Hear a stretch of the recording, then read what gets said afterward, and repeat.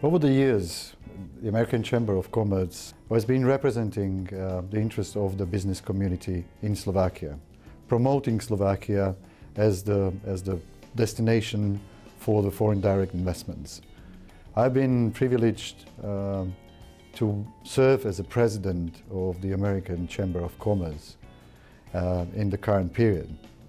I wish that American Chamber of Commerce continues representing the business interests, continues developing a sound business environment in Slovakia, and continues serving a, a, one of the best platforms for the dialogue between the business community and the government and other parties in the business spectrum.